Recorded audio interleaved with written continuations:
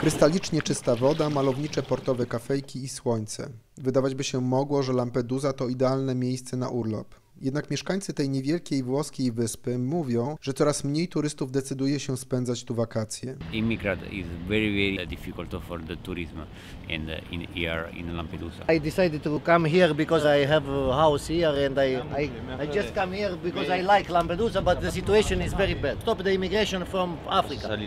This is the only solution. First time uh, when I was here, the situation is not good, but not 7,000 people in the island. Valeria Ferrero, dziennikarka lokalnych mediów, przyznaje, że tak dramatycznej sytuacji nie widziała tu od lat. last month, last week, it was almost uh, 100% more than uh, the other time. So between um, September 11 and 12, only there were 7,000 people, which is in 48 hours is really a huge amount for this island.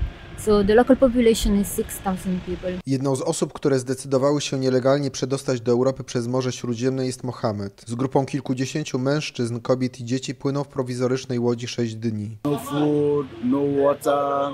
There were sick people among us, pregnant women, children. Oh, it was so hard. It was so hard. You you will not see the end of the of the sea, as I told you.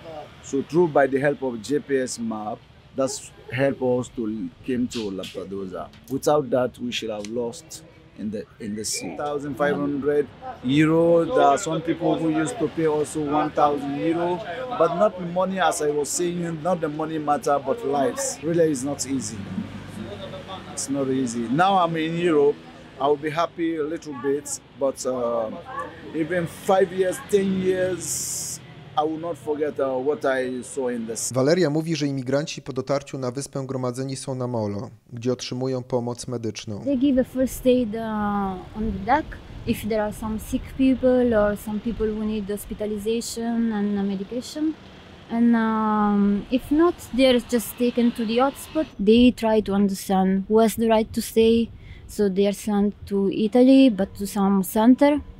Or uh, if you don't have the right to stay, you have to leave Italy in some day. Każdego dnia na wyspę dociera od kilku do kilkudziesięciu łodzi z imigrantami. Lokalna społeczność mówi dość i wychodzi na ulice miasta w ramach protestu. We have a hotspot. We have room for 500 people, 600 people, and we received 7,000 people. We have done. We don't want to be part of the human trafficking. That's it. That's why people is here.